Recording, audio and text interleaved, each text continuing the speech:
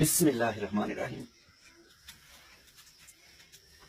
कढ़ाई चूल्हे पे चढ़ा लेंगे, इसमें डालेंगे चिकन, बिस्मिल्लाहिर्रहमानिर्रहीम। और थोड़ा सा पानी, तकरीबन आधा कप प्याज, टमाटर, लहसुन बरीक कटा हुआ, नमक, मिर्च, हल्दी अच्छी तरह मिक्स करेंगे।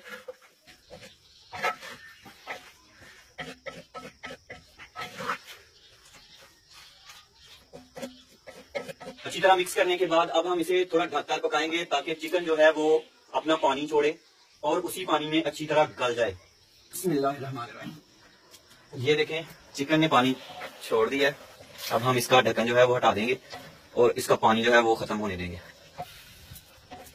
पानी जो है वो खत्म हो गया। अब हम इसमें बिस्मिल्लाहिर्रहमानिर्रहीम घी डालेंगे।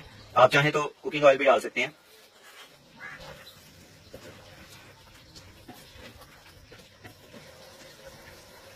अदरक इस तरह बरीक कटी हुई।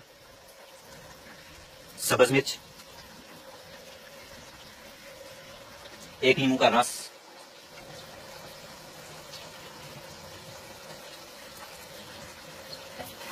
नींबू जो है वो दरमियाने साइज़ का है और चिकन जो है वो डेढ़ किलो है, जो मैं बना रहा हूँ। ये बहुत ही जल्दी बन जाता है चिकन और बड़ा मज़ेदार बनता है। ये सारी चीज़ें डालने के बाद यहाँ पर चिकन को अच्छी तरह भून लेना है। चिकन जो है वो तैयार हो गया। अब हम इसमें हरा धनिया जो है वो डालेंगे। चूँकि ये भुना हुआ चिकन है तो इसको भूनना अच्छी तरह है।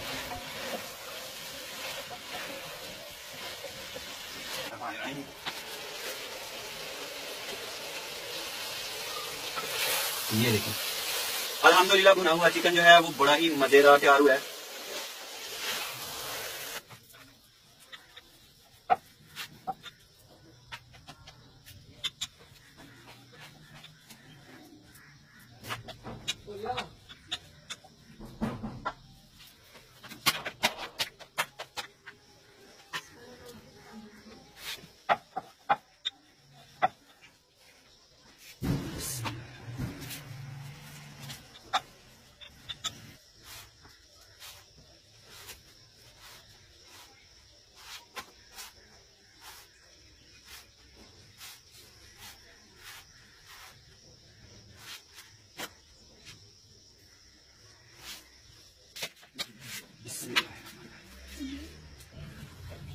ですね。